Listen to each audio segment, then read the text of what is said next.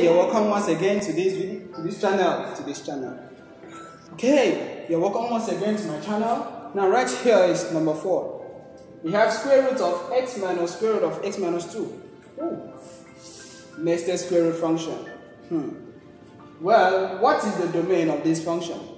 To find their domains. We've done for one, two, three. If you haven't touched them, it would be nice to go back to the former videos and watch them before you come over and watch this one, right? Very nice. So over to here. Square root of x minus square root of x minus 2.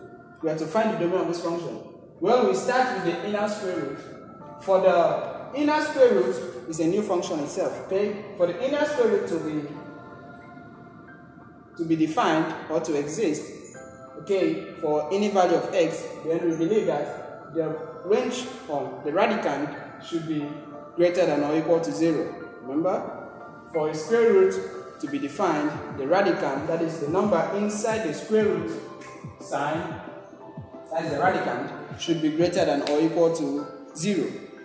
Very nice. That's for the smaller square root. And for the bigger square root, again, the radicand, okay, when this is the bigger square root, so the radicand, the one in blue, should be greater than or equal to 0. As you can see like that, it even includes the smaller one. So like I said, we start from the smaller one. So we have it to be the square root of, let me use black pen. We have it to be the square root of x minus 2, okay, will exist if and only if x minus 2 is greater or equal to 0. So for x minus 2 to be greater than or equal to 0 simply means that x should be greater than or equal to positive 2. That is, taking the negative to the right hand side, or better still, adding 2 to both sides of the inequality. So we have x should be greater than or equal to 2. With this, the inner man right here, the inner square root, will be defined.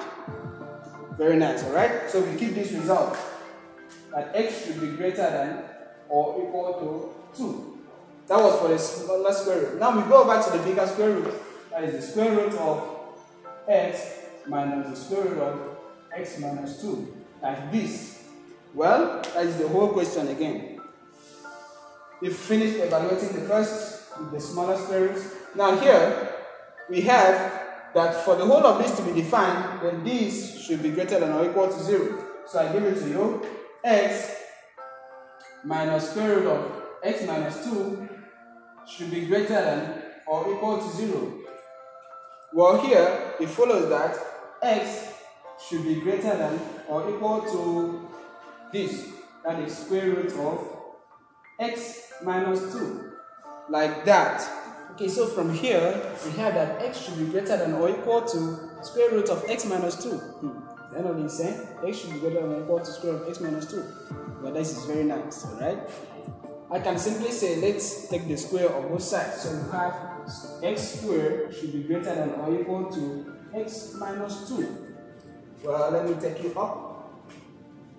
Take you up like this. Right here, I'm going to move everything to the left hand side and allow you to remain on the right of the inequality. So we have x squared should be minus x and plus 2 should be greater than or equal to 0, like this.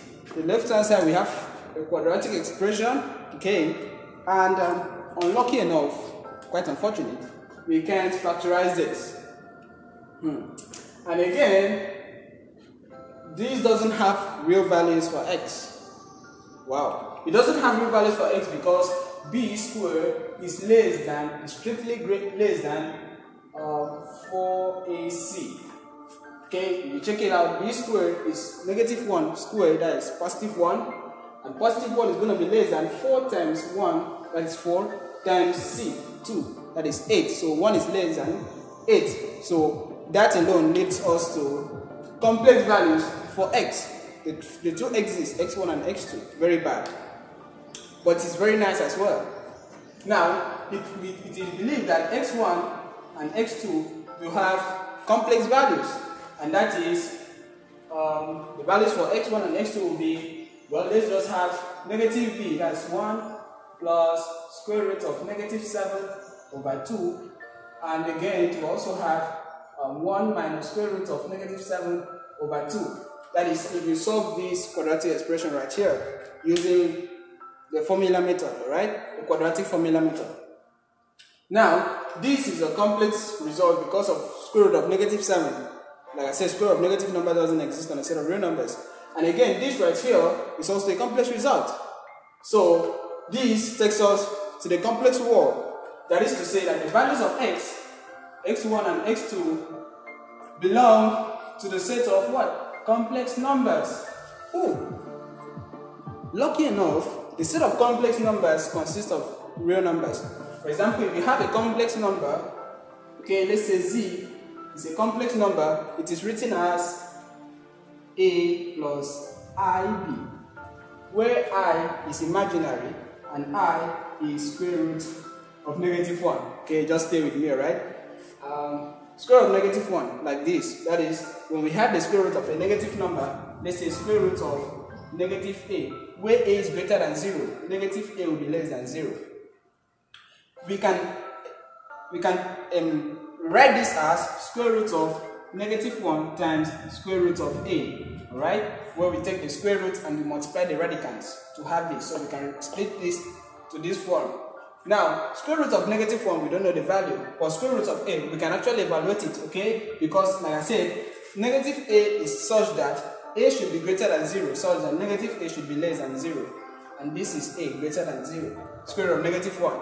So it is the square root of negative 1 that we call the i. Okay, so it simply shows here that we have a plus square root of negative 1 b. Where this b is the square root of a number and it's actually a real number, square root of positive number like that, alright? We just comparison.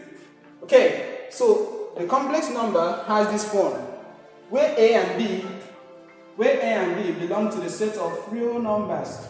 That is what you get. A and b belongs to the set of real numbers. So the complex number is actually real numbers with together with an imaginary number. So we can write that we can rewrite the set of complex numbers to be the same thing as the set of real numbers union the imaginary, uh, uh, should I say the imaginary sets? Well, just, this notation is not actually correct like this. Just forgive me, but what I actually mean is that the set of complex numbers consists of a set of real numbers, that is in the place of A and B, with imaginary number, okay? With imaginary number like that, just put it in a set because this right here is a set.